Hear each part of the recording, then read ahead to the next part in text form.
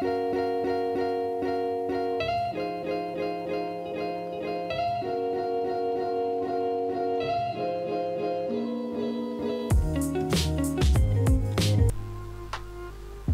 chào tất cả các bạn, chào mừng các bạn đến với Kina Channel.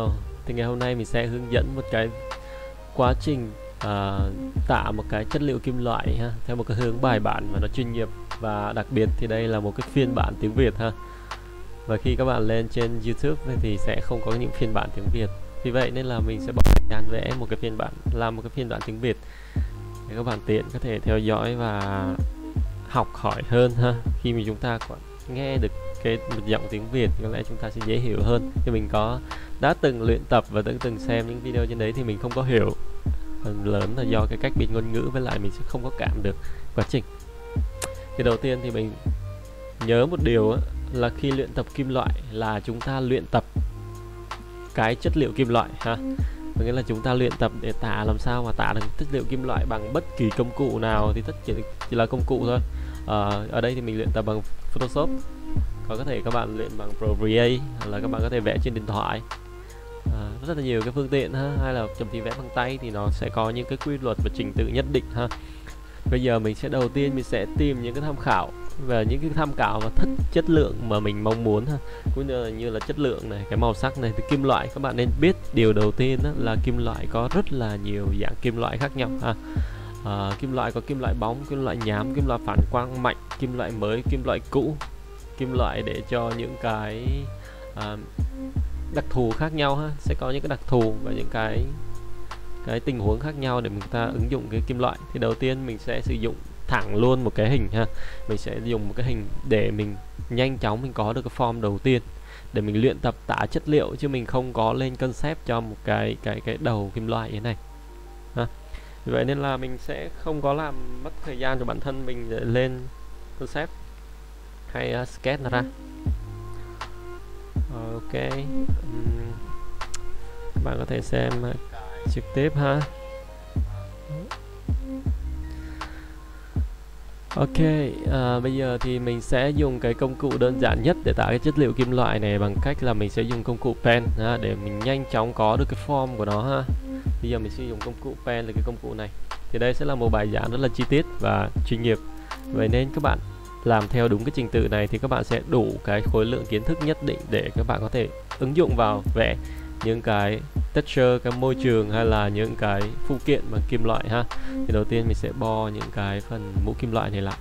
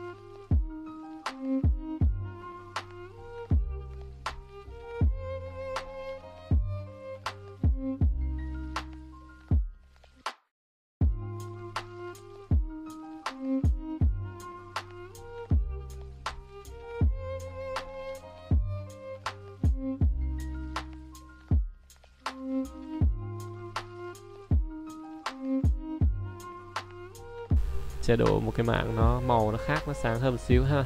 Rồi bây giờ mình sẽ có một cái mạng bởi những cái phần ốp xung quanh này ha. thì bây giờ á, mình sẽ tiến hành mình đi trước cái form của cái à, cái kim loại này đã ha. Thì nó có một số cái lưu ý như thế này. Thì cái khối của kim loại thì chúng ta sẽ hình dung nó ở đây giống như là một cái khối hình tròn và hình trụ ha. Thì nó sẽ có những mảng giống như là phản qua à, những trung gian này à, sáng này rồi ửng sáng này trung gian này rồi tối này rồi có phản quang này. Ngoài ra thì có những cái phần ánh sáng phản chiếu ha và đập của những môi trường xung quanh thì đặc biệt kim loại nó sẽ ứng dụng rất là nhiều. Uh, cái này nhưng mà đầu tiên thì chúng ta phải dựng đủ cái khối cho nó ha. Giờ mình sẽ cho cái khối của nó là ở cái khu vực bên này nó hút tới ha. Bây giờ mình sẽ tạo một layer mới để chúng ta nó có cái nhìn nó rõ ràng trực quan. Thì để đơn giản nhất thì mình sẽ dùng một cây brush hình tròn ha. À, tròn giống như trong bộ brush căn bản thì chúng ta sẽ có brush hình tròn này thì để chúng ta sẽ phải mix một xíu là cái brush hình tròn thì mình chuyển sang chế độ transfer.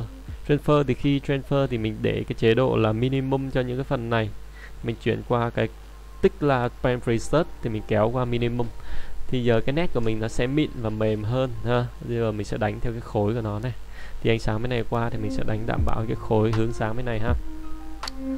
Rồi, cái phần tối nhất. Rồi, mình sẽ hút cái phần trung gian.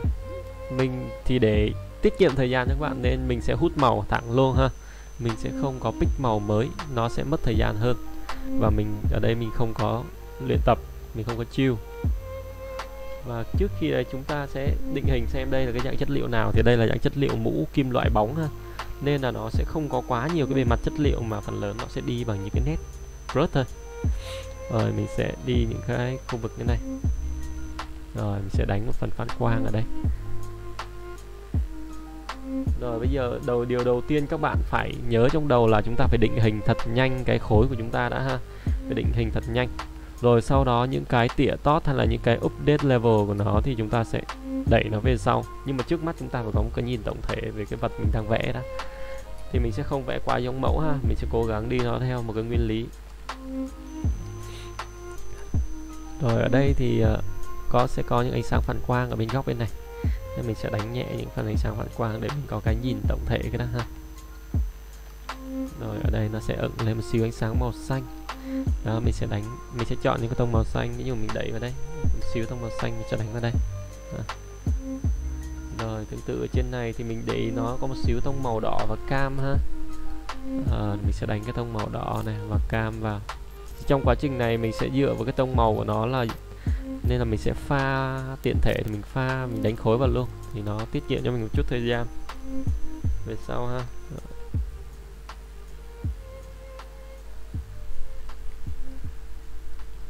Rồi, mình sẽ đánh thật nhanh để chúng ta có cái khối này.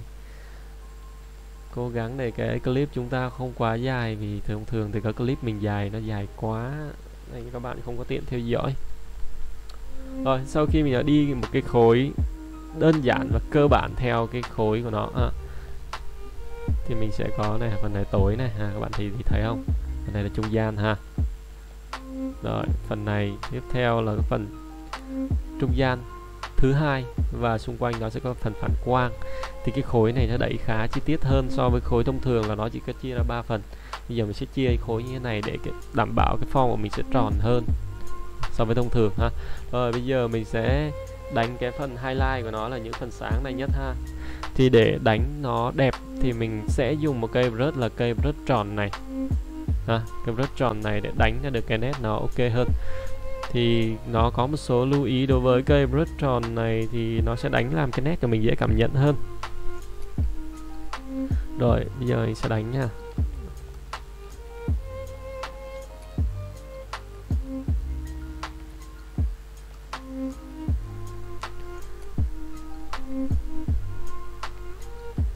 Rồi mình sẽ đánh cái phần à, phần sáng nhất của nó lên ha.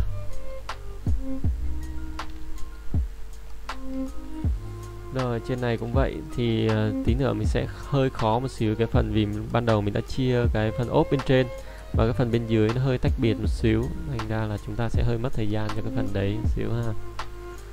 Rồi để các bạn dễ cảm nhận hơn nữa thì mình sẽ quay lại cái brush tròn thông thường ha. Rồi mình sẽ tiếp tục đánh cái phần sáng lên nhớ cho mình là đây là cái phần highlight ha. Phần highlight của nó. Highlight có nghĩa là cái phần ánh sáng này mạnh nhất ha. Thì cái tài liệu này cũng không phải là cái gì đó ghê gớm, thì ở trên mạng thì đã có những cái phiên bản tiếng Anh rất là nhiều ha. Cũng rất là nhiều ngôn ngữ. Nhưng mà vấn đề là cái hồi mình học thì mình xem đến tận 50 lần cho một cái clip tả thì mình chẳng biết tả như nào cả. Thực sự mình xem cho nó vui thì có, chứ tả không có ra cho nên mình biết là cái vấn đề này nó rất là nan giải. Thôi thì mình có quay clip thì mình public đó thì bạn nào cần thì có thể lên xem lại. Đó bây giờ các bạn để ý thấy nãy giờ mình dùng chỉ dùng cái cây brush brush hình tròn và tròn mờ ha. Đó mình sẽ đẩy những cái này. Thì ở đây có một xíu ở, ở dưới này thì ở đây mới là phần ánh sáng chính này. Phần này sẽ là phần sáng nhất này. Bạn ý này khi ánh sáng chiếu xuống ở dưới này thì thằng này sẽ là khu vực tập trung ha quản lý này nguyên khu vực này sẽ là khu vực highlight tập trung thì chỗ này sẽ là phần sáng nhất. À, chỗ này sẽ là tầm của phần sáng. À, xung quanh này sẽ có một số cái phần ánh sáng xung quanh va đập lại vào ánh sáng phản quang cũng như là phản chiếu vào những cái khu vực như thế này. Ha. thì cái ánh sáng phản chiếu của kim loại thì nó nó vô chừng lắm. Ha nó thường là phụ thuộc rất là nhiều vào cái đặc tính của cái môi trường xung quanh và cái đặc tính của cái cái khối của kim loại này là dạng khối kim loại nào ha. Thì kim loại hầu như là nó sẽ bị ảnh hưởng bởi cái bề mặt của nó. Đối với những cái bề mặt kim loại mà các bạn quan sát nó có nhiều cái uh, cái cái cái đặc tính, giống như là cái dạng kim loại này, kim loại mới ở những cái tay nắm này các bạn để ý, nó rất là khó để chúng ta biết được cái quy luật của cái cái phần phản chiếu này. Các bạn để thấy cái cái phản chiếu của nó rất là gắt ha. Từ cái phần tối nhất đến phần sáng nhất, các bạn để ý này, chúng ta rất là khó kiểm soát để cho nó một cái quy luật rõ ràng. Nên cái này thông thường là để các bạn phải quan sát trong thực tế thật là nhiều ha. Chúng ta phải quan sát thực tế thật là nhiều sau đó hình thành cho mình cái cảm nhận dựa trên những cái nguyên lý mà được hướng dẫn như thế này. Thì dựa vào đó các bạn sẽ có những cảm nhận và đưa ra những cái sản phẩm và những cái vẽ về cái kim loại khác nhau ha. các bạn sẽ vẽ 10 người sẽ vẽ 10 cái phiên bản khác nhau. Thì dựa vào cái cảm nhận của mỗi người thì các bạn sẽ có những phiên bản đẹp hay là xấu. À, cũng không hẳn là xấu mà gọi là đẹp và đẹp hơn. À, chỉ cần các bạn đáp ứng theo đúng cái nguyên lý này. Thì để cái phần highlight này có cái mức độ gọi là đẹp và à, gọi là, là đảm bảo cái filter phần highlight nó tốt hơn thì mình sẽ chuyển nó về chế độ screen ha screen. Thì đây là một cái nốt mở cho các bạn để các bạn có có một cái phương án để lựa chọn ha. Đó mình sẽ đánh cái phần mình sẽ hút cái phần ánh sáng này. Đó, mình sẽ chuyển về cái cây tròn mờ ha tròn mờ mà mình vẽ từ đầu đến giờ. Và mình sẽ đánh vào phần highlight mạnh nhất này. Rồi mình sẽ đánh vào cái vùng này rồi, mình sẽ đánh vào cái khu vực ánh sáng ảnh hưởng mạnh nhất là cái khu vực này ha. Rồi, các bạn để ý này, giờ nó đang giờ nó bắt đầu là có cái độ lóe ở đây rồi ha. Rồi, mình sẽ đánh thêm một xíu. Rồi, phần dưới này cũng vậy, mình sẽ đánh thêm một xíu khu vực này. Thể hiện cho một xíu nó cái phần highlight nữa. Cái highlight này thì các bạn hãy cảm nhận và chúng ta quan sát cái kim loại thật là nhiều ha. Thì khi mình luyện tập thì mình phải quan sát cái phần chất liệu về kim loại rất là nhiều. Các bạn để ý này, cái khối này nó không phải là một khối tròn tròn chỉnh và nó tròn kiểu mềm mại ha, mà nó là cái cái cái mũ cái mũ kim loại này nó khá là, nó không được tròn trơn lắm mà nó cứ móp méo một xíu ấy, nó hơi móp móp một xíu. Các bạn để ý thấy này, chúng ta nhìn cái đường vân này chúng ta có thể cảm nhận này. Đó, vậy đây là giờ mình sẽ, ok sau khi mình đánh phần highlight thì mình có thể uh, và mình có thể mệt lại cái vùng này ha. Thì bây giờ mình đã có cái phần highlight của cái phần phía dưới cái nền là nó như thế này ha. Bây giờ mình sẽ đẩy lại một xíu cho nó ok và nó hợp lý hơn để các bạn dễ dễ cảm nhận hơn ha. Đây cái phần này thì nó sẽ đi dần này. Các bạn để ý cái hướng di chuyển của cái hình ánh sáng highlight ha khả vào không gian thì nó sẽ bắt đầu cái hướng cái highlight với những cái nguồn sáng nó sẽ mềm đi đó mình sẽ làm cho nó chìm vào cái không gian vào cái khối này xíu. Thì phần ánh sáng tập trung nhất sẽ là cái khu vực này. Ha, mình sẽ đánh sáng nhất ở khu vực này. Rồi xung quanh mình sẽ cho nó chìm bớt đi ha. Rồi chìm vào những khu vực này. Rồi ngoài ra thì mình sẽ muốn mình đẩy thêm một xíu cái phần highlight của khu vực bên ngoài. Các bạn thấy này highlight của khu vực bên ngoài. Thì cái nguồn sáng chính là phía trái qua vì vậy nên là cái phần phản gọi là cái phần uh, ánh sáng uh, phản quang của khu vực bên trái ấy. thực ra cái khối này thì có hai hai phía phản quang phản quang ở phía mặt tối và phản quang cả phía mặt bên bên mặt uh, nhận sáng nữa. Nên mình sẽ đánh cái phần khu vực phản quang này nó sáng lên một xíu. Rồi chỗ này mình sẽ cho sáng lên một xíu ha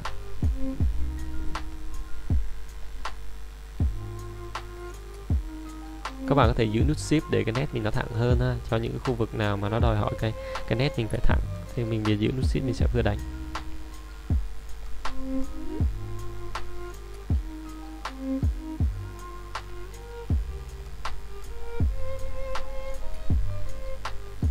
Ok. Thì bây giờ mình nói cái khối cơ bản là các bạn cảm nhận ha. Vì cái phần ở giữa này mình sẽ không di chuyển nó nhiều bởi vì phần giữa nó không cần thiết. Ở giữa mình thì, thì chúng ta đã có cái cái mặt này rồi ha ok mình sẽ uh, tiết kiệm thời gian một xíu ha bằng cách uh, cách này. Rồi ok mình đã có cái phần mặt giữa. Bây giờ mình sẽ đánh cái phần mặt giữa ha để mình hình thành được cái form của nó ha. Giờ mình xem lại cái form gốc của nó là cái gì nè. Mình quay lại cái gốc form. Thì bây giờ mình sẽ bò lại ha. mình sẽ dùng công cụ P. Thì các bạn để ý này cái mũ bảo hiểm nó chia làm hai nửa. Cái nửa bên trái và nửa bên phải nó cắt nhau bằng cái phần cái phần cái phần lồi lên này ha. Bây giờ mình sẽ dùng công cụ P để mình cắt đôi nó ra. Rồi mình sẽ cắt ở cái phần này. Cắt theo đúng cái tỷ lệ ha. Để chúng ta có một cái khối nó chỉnh chu nó hoàn thành để chúng ta luyện tập nó được uh, nó được trực quan hơn. Có nghĩa là chúng ta khi chúng ta luyện tập thì nó phải ra được một cái gì đấy ha một phần để là chúng ta tự tin và mình một phần nữa chúng ta hệ thống được cái kiến thức nó rõ ràng ra. Nếu mà các bạn theo cái cái việc uh, luyện tập cái chất liệu này.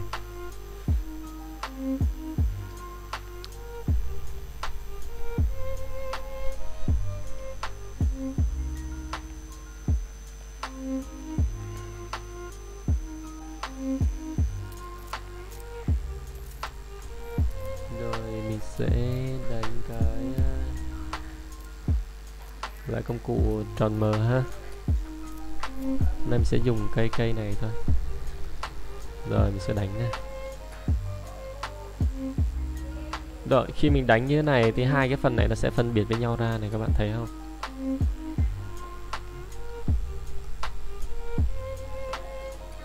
Cái cái à, công, cái thanh công cụ của mình nó bị nhảy. Vậy nên các bạn có thể quan sát cái quá trình mình bật những cái phần công cụ này lên ha pass.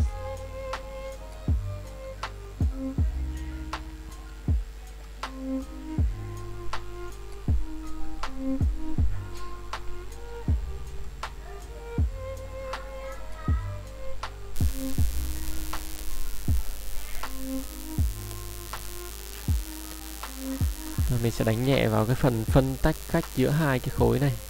Rồi các bạn ý là khi mình đánh cái này thì hai cái khối này nó sẽ tách nhau ra ha rồi để thể hiện được một cái là mặt trước một cái là mặt sau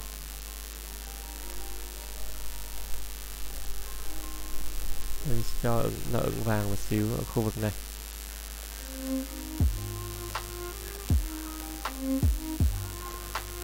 Rồi ok, bây giờ thì hai cái phần khối này chúng ta đã cảm nhận được là nó khá là khác nhau rồi đúng không?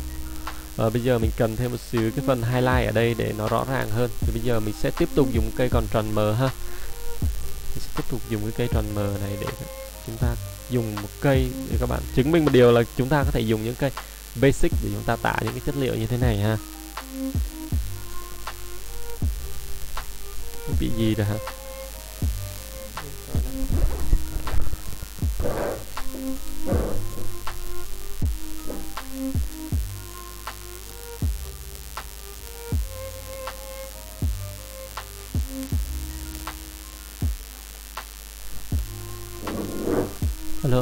Chưa?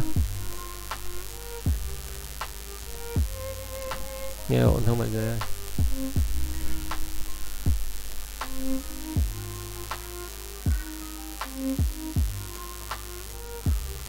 Đây, mình chỉ đánh một cái nét highlight ở khoảng phân phân cách giữa hai cái thằng này ha.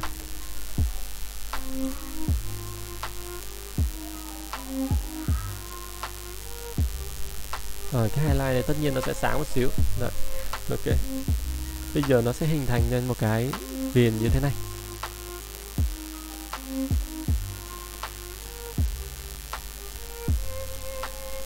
Rồi, ok. Giờ mình đã tách được hai thằng này ra rồi ha. Mình sẽ đẩy thêm một xíu cái phần à, highlight mạnh nhất ở khoảng giữa.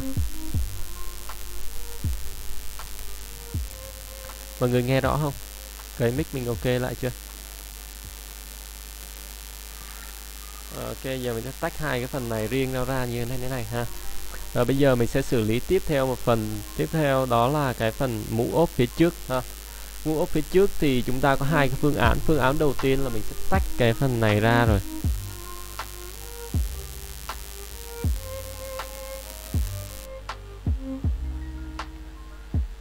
Rồi mình sẽ tách cái phần này ra. Thì uh, bây giờ mình sẽ ấn nút à, control ha. Ấn nút control mình sẽ ấn enter vào đây. Control mình ấn vào cái khu vực này. Sau đó mình sẽ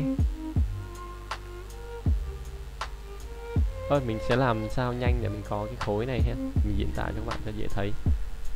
Rồi, bây giờ mình có khối này. Bây giờ mình sẽ đánh lên cái khối phía trên này ha. Thì cái khối này sẽ nó sẽ khớp so với cái phần bên dưới nhưng mà cách biệt nhau một xíu. Để chúng ta cảm nhận được là hai cái khối này không phải là một, một cái cái phần này là cái phần ốp phía trên ha. Mình sẽ đánh lên này.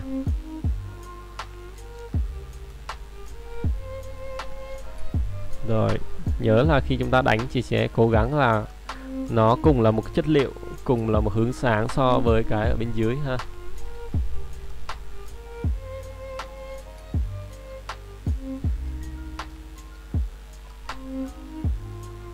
Rồi, mình sẽ đánh theo cái khối bên dưới chúng ta sẽ cho nó khác biệt đi một xíu thôi ha.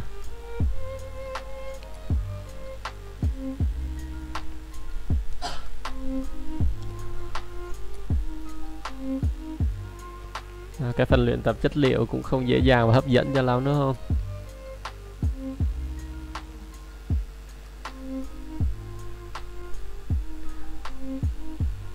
Nhưng mà chúng ta sẽ không cố gắng nghĩ theo cái kiểu là mọi thứ nó quá dễ dàng quá dễ dàng quá thì ai cũng làm được rồi. Sẽ có những cái phần chúng ta phải luyện tập những cái bé bé nho nhỏ như thế này để nó phục vụ cho một cái bức tranh lớn của chúng ta ha. Thì khi chúng ta muốn vẽ một background hay là một cái concept lớn, nó có nhiều cái yếu tố ở trong đó thì bắt buộc chúng ta phải chia nhỏ nó ra để luyện tập. Đó là điều bắt buộc. Ha, chúng ta không thể nào vẽ một cái bức mà chúng ta không biết tả vải. Chúng ta không biết tả kim loại, chúng ta không biết cả thiết chúng ta không biết tạo mây trời, chúng ta không biết tả gỗ được. Cái đó là chuyện không thể. Các bạn, cho dù các bạn vẽ người thì đến cái phần vẽ chất liệu các bạn vẫn phải luyện tập như thường rồi. Rồi, mình sẽ tả cái khối này sao cho nó ra được ha. Để xem cảm nhận hai cái này nó đang liên kết với nhau. Thì đặc biệt cái khối này nó chia làm hai hai hai cái cạnh khác nhau. Nên là mình sẽ lại mình mình sẽ lại chia đôi nó ra nữa ha. Mình sẽ lại chia đôi cái khối này ra, giống như lực khối ban đầu.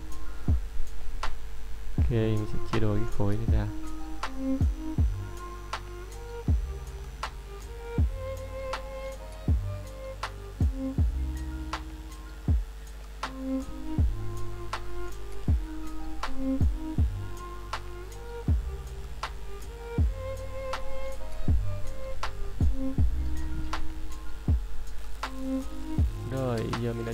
Cái khối ra.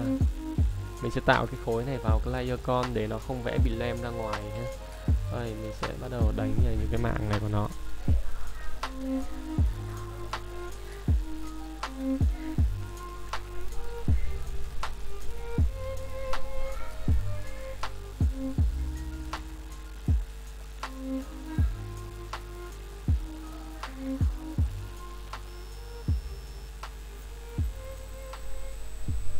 Chúng ta sẽ đánh nó cái khối và mạng tương tự đối với cái khối nền bên dưới ha.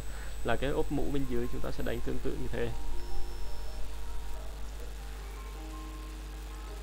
Rồi, mình sẽ đánh theo cái đúng cái khối của nó. Tí nữa mình sẽ chỉnh hai cái này, có nghĩa là nó không có một cái gì đó nó quá là chắc chắn ha. Chúng ta có thể vẽ lại cái trên, chỉnh cái trên, sau đó chúng ta lại chỉnh lại cái bên dưới ha. Hai cái nó support cho nhau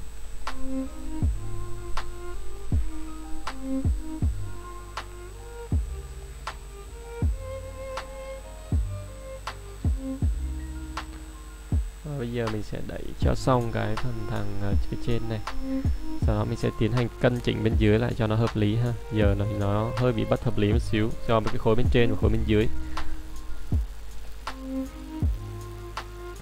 Rồi ta quan sát này cái phần ờ, phần khối bên dưới này. Cái khu vực này nó khá là tối nè. Và mình sẽ phải đánh lại thì các bạn luyện tập sẽ không thể nào vẽ một lần ra được. Chúng ta phải đẩy đi đẩy lại như này ha. Chưa thấy hợp lý chúng ta sẽ đẩy tiếp lại. Để cho khu vực này tối đi. Rồi, phía dưới này thì à, do phần trên nó có một cái độ dày nhất định nên là mình sẽ đánh tiện thể ở đây. Mình sẽ đánh luôn cái khu vực bóng của nó ha. Mình sẽ đánh khu vực à, độ bóng của cái khối này xuống dưới đây luôn thì chúng ta lưu ý một phần là cái này nó có dày hay là không? Nếu mà cái ốp này nó mỏng thì chúng ta không thể đánh cái độ bóng nó nó dày được ha. Vì khi đánh độ bóng nó dày thì nó sẽ làm hiểu lầm tới cái làm chúng ta hiểu lầm là cái cái này nó sẽ bị dày. Nhưng mà đánh mỏng quá thì chúng ta sẽ không cảm nhận được cái cái phần này nó nổi lên. Nên là tùy ha, tùy vào cái cái ờ, ốp này các bạn cho là nó dày hay nó mỏng. Rồi, ok, mình sẽ đánh phần ốp ở đây rồi bây giờ mình đã có cái form tương đối rồi. Rồi mình sẽ chỉnh lại tiếp tục chỉnh lại cái form bên trên để cho khớp với phần mình đã vừa chỉnh bên dưới ha. Rồi mình sẽ xem lại nào. Ok giờ mình sẽ đánh lên ha.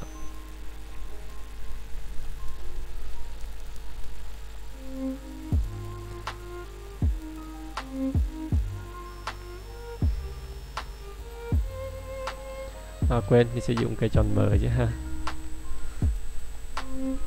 ok, mình sẽ đánh, cố gắng đánh nó tự nhiên ha.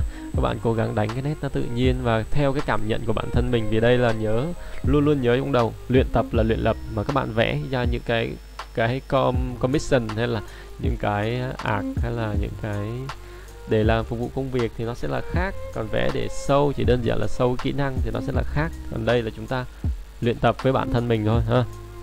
Nên là chúng ta học được cái gì thì đó mới là điều quan trọng. Rồi, mình sẽ rồi, mình đánh một số cái phần highlight nó nhẹ nhẹ trên này ha.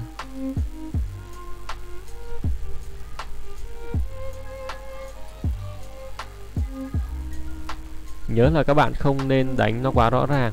Thì nếu các bạn đánh chưa quen á, khi chúng ta đánh rõ ràng quá thì nó sẽ làm bị hỏng một chiếc khối của mình ha. Thì đôi khi nó sẽ làm khối của mình nó sẽ bị lệch đi nếu mà chúng ta tham đánh nhiều chi tiết quá ha nên chúng ta cố gắng kiểm soát nó dựa trên cái khối tổng thể. Bây giờ chúng ta sẽ có cái form đầu tiên. Trước khi là chúng ta đẩy cái cái khối của nó chi tiết vào thì nó sẽ tránh bị sai hơn. Rồi, để ý ở đây thì nó có một cái phần ánh sáng vàng thì ok, mình sẽ hút thẳng cái ánh sáng luôn đi. Để cho nó nhanh ha. Rồi, mình sẽ đi cái phần ánh sáng vàng này. Thì ở đây có một cái phần highlight ở chỗ này. Ừ à, mình sẽ đánh cái phần highlight lên.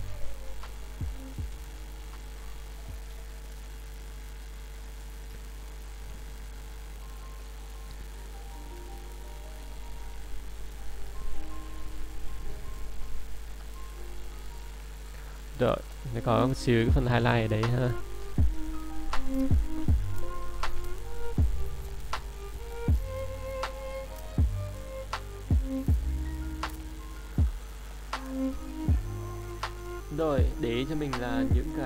Khối này bởi vì nó có cái độ dày nên là nó sẽ có những phần highlight và độ dày ở những cái phần nét này ha. Thì cái phần này thì các bạn có hai hướng là chúng ta có thể đi luôn hoặc là chúng ta có thể để dành để xử lý về sau ha. Mình nghĩ là có lẽ nên xử lý về sau đi. Thì chúng ta sẽ chân chỉnh lại cái phần form này.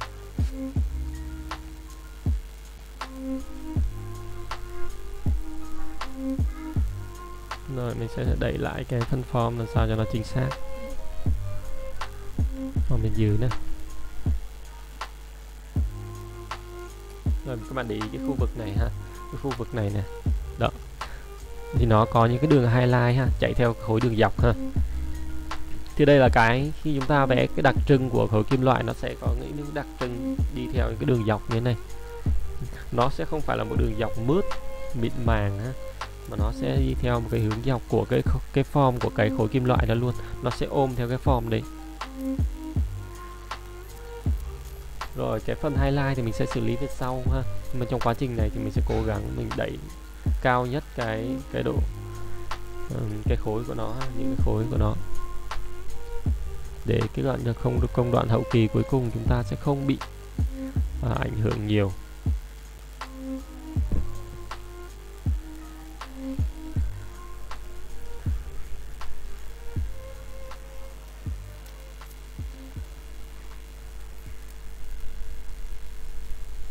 Chúng phần highlight dọc này. Mình đang dùng một cây brush tròn ha. Phần highlight này. Đang cái đây nè. Rồi, những phần highlight khu vực bên này. Các bạn có thể cho nó thêm nhiều cái hệ màu cho nó sinh động cũng được ha.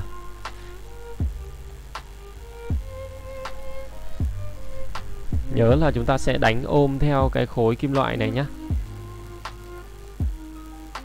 thì có lẽ là khi các bạn xem ở trong cái livestream này thì mình sẽ để nguyên cái clip, nhưng mà khi mình public lên YouTube thì mình sẽ làm cho nó ngắn lại, nên sẽ không có nhiều lời giải thích như thế này ha.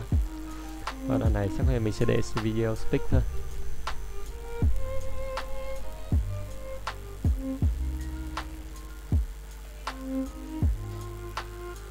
Rồi, phần highlight, các bạn đi ở đây có một cái thằng highlight, hai thằng highlight này. Thì mình đang luyện tập nên là cố gắng mình bám sát theo nó một xíu ha thì chúng ta học cái cách nó tạo một cái kim loại nó hoàn chỉnh như thế nào. Đó thì mình sẽ dùng cái cây tròn mờ mình sẽ đánh như thế này.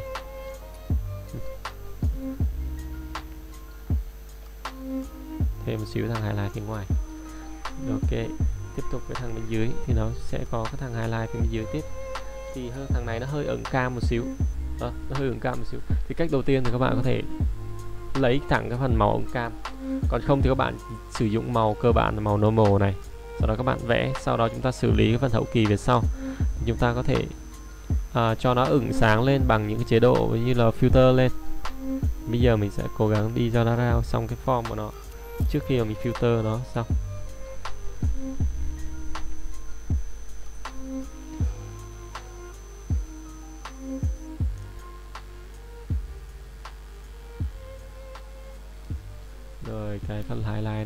Sáng.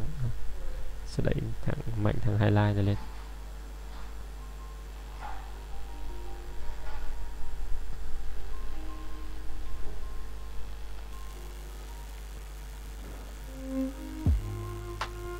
Các bạn để ý từ đầu đến giờ là mình chỉ sử dụng cái cây brush uh, hình tròn đó ha tròn mờ ha. Nên là không có gì nó quá là ghê gớm cả. Giờ các bạn hiểu đúng cái nguyên lý của nó là các bạn có thể vẽ ra được ha tất nhiên là phải thực hành rất là nhiều. Kiến thức phải đi đôi với thực hành. Thực hành xong là thực hành được ra rồi, thì kiến thức đó mới mới theo thuộc với các bạn thôi. Thì bây giờ nó vẫn là của mình thôi ha. Hy vọng các bạn sẽ thực hành nó.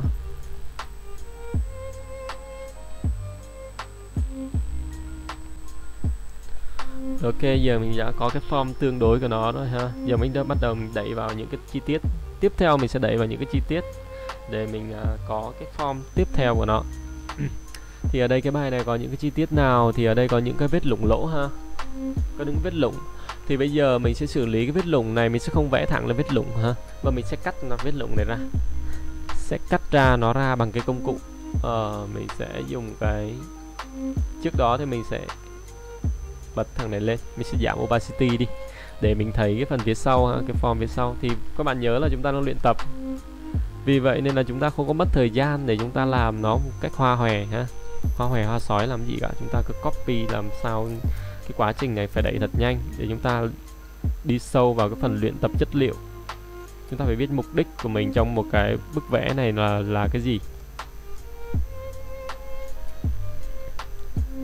Cái chuyện chép tranh cũng là rất là bình thường thôi. Chúng ta chép từ thực tế thì gọi là ref, gọi là study còn nếu mà vẽ theo tranh của người khác thì chúng ta có thể nói nó là chép tranh, không có vấn đề gì cả.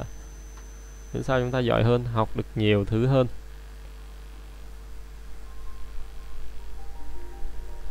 Rồi, mình sẽ bo thật nhanh theo cái khung này. À.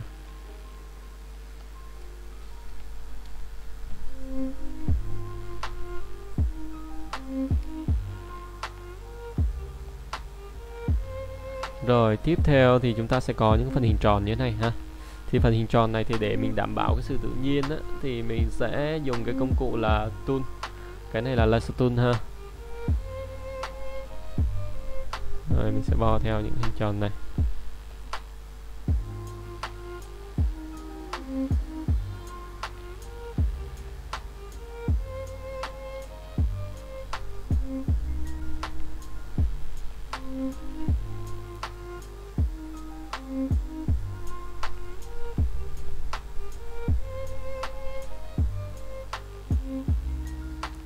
Ờ, cũng không cần uh, chuẩn chuẩn chỉnh quá đâu ha.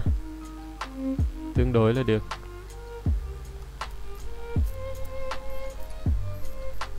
Ta cũng không vẽ cũng không vẽ những bức study này để cho khách hàng hay là để bán.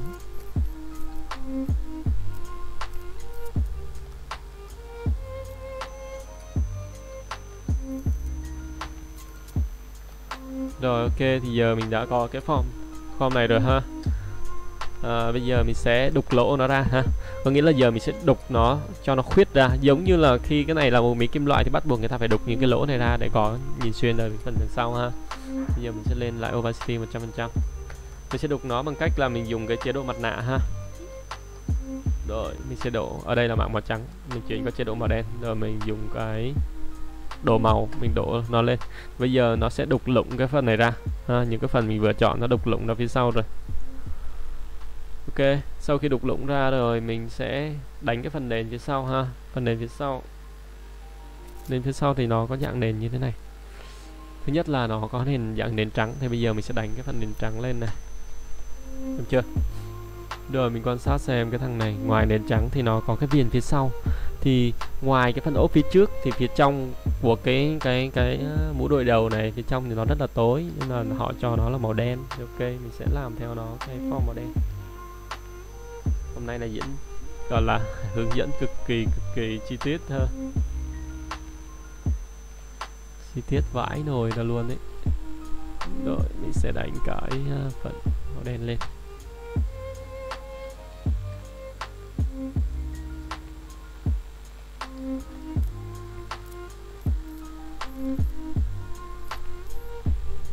Tiếp tục dùng cây brush tròn lên đi chúng ta sẽ đánh tối cái cho phần mũ này lại ha. Thì nhớ phần đằng sau nó sẽ vòm lại. Nó sẽ vòm theo dạng khối 3D nếu các bạn làm 3D thì các bạn sẽ hiểu cái khối không gian này như thế nào. Thì nó sẽ ôm lại theo cái đường bát ha. Rồi, chúng ta sẽ đánh cho nó ôm tròn lại. Rồi ok. Thì bây giờ chúng ta đã có cái phần lõi bên trong. Thì mình bật những phần này lên. Thì bây giờ tương đối mình đã có cái form kha khá rồi ha. Thì bây giờ có thiếu một cái chi tiết đó là chúng ta vẽ cái phần con ốc của nó ha. Ta sẽ tiếp tục với cái con ốc giờ mới bắt đầu mình đánh những con ốc. Lại tiếp tục công cụ cũ ha. Mình sẽ dùng cái công cụ tròn để mình bó con ốc này lại. Ta phải làm thật nhanh thật nhanh thì chúng ta có hình thành được cái khối của nó đó ốc ở đây.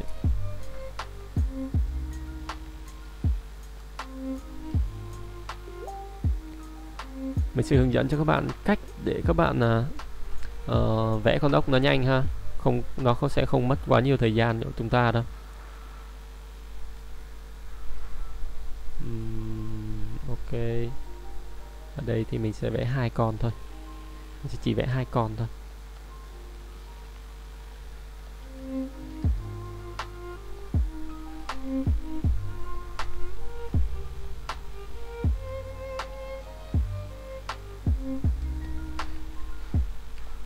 Rồi và phía mặt bên này thì mình sẽ um, ok mình vẽ hai một con này lại. Mình sẽ tiết kiệm thời gian nhưng không muốn clip nó bị dài quá. Ok giờ mình đã có con ốc thì mình sẽ đổ cái màu của con ốc này lên. À quên mình phải xây nó lại ha mình xây lại. À, study Ivan. Nhớ là cái thói quen xây uh, xây lại cái uh, bài mình đang làm cũng là thói quen rất là cần thiết ha. Vì đôi khi chúng ta sẽ bị cái tình trạng dễ bị tình trạng là bị mất bài hay bị bay bài. Ok tiếp tục với cây brush tròn tiếp. Chúng ta sẽ đánh những phần này làm sao mà cho nó tiết kiệm thời gian đánh nhanh ra con ốc thì tùy cái tính chất các bạn muốn luyện tập nó ở mức độ nào kỹ càng như nào ha. Ờ, mình sẽ dùng cái gần highlight và cái phần tối nhất của nó trước. Rồi ok mình sẽ đánh những khu vực này rồi, mình khóa nó lại nè. Bạn khóa nó lại. Rồi, chúng ta sẽ đánh lên khu vực của con ốc này thôi. Đó, cái khu vực nào là hướng sáng ha? Sẽ đánh nhẹ lên này. Mình sẽ đánh lên này.